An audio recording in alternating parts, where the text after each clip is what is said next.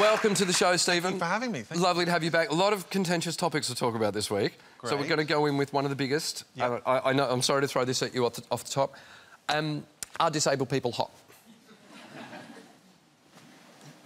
Well, let me um, let me ask you a question. Is it okay Mm. for me to get in on the disabled people are hot story? Oh, yeah. Because um, I am six foot seven, Yeah.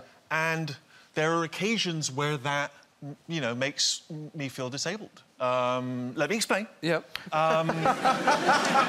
No, but you know, um, a lot of door frames too low. Yeah, For yeah, me, um, a lot of beds too short. Um, a lot of cars that I can't get in, too small, public transport.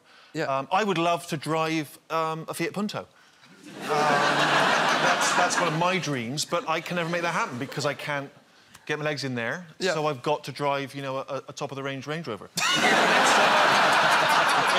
it's a real... It's, Oh, it's a tough life. I mean, it's a tough life. Well, Josh knows this because Josh, as you remember, did uh, support on my stand-up tour. Yeah. And I had to, to you know, pay for us to travel. And when we went to Australia and New Zealand, Yeah. you know, I was stuck, you know, in first class.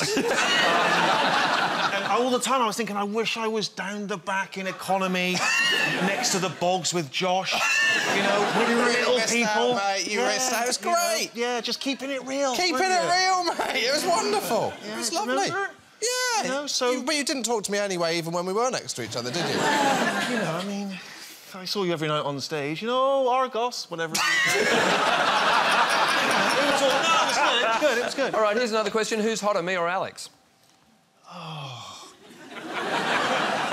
That's not a good start. I don't judge people on their appearance. Really? Adam. I judge them on the content of their heart. Yes, thank you. Yes. And, you know, I don't know you guys terribly well, but my sense is that you are both awful people. You've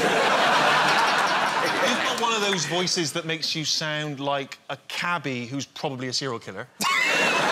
You know, you're quite chipper. All right, maybe there's a couple of bodies in the boot. and you've got like, I just, you just seem suspicious to me. Like none of us are clear why you left Australia. you know what I mean? Like, why did you come here?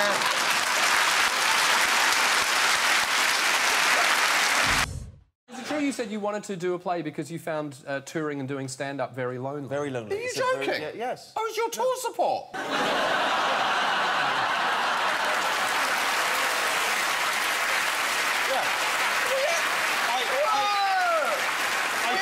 I, I, I found it lonely and depressing.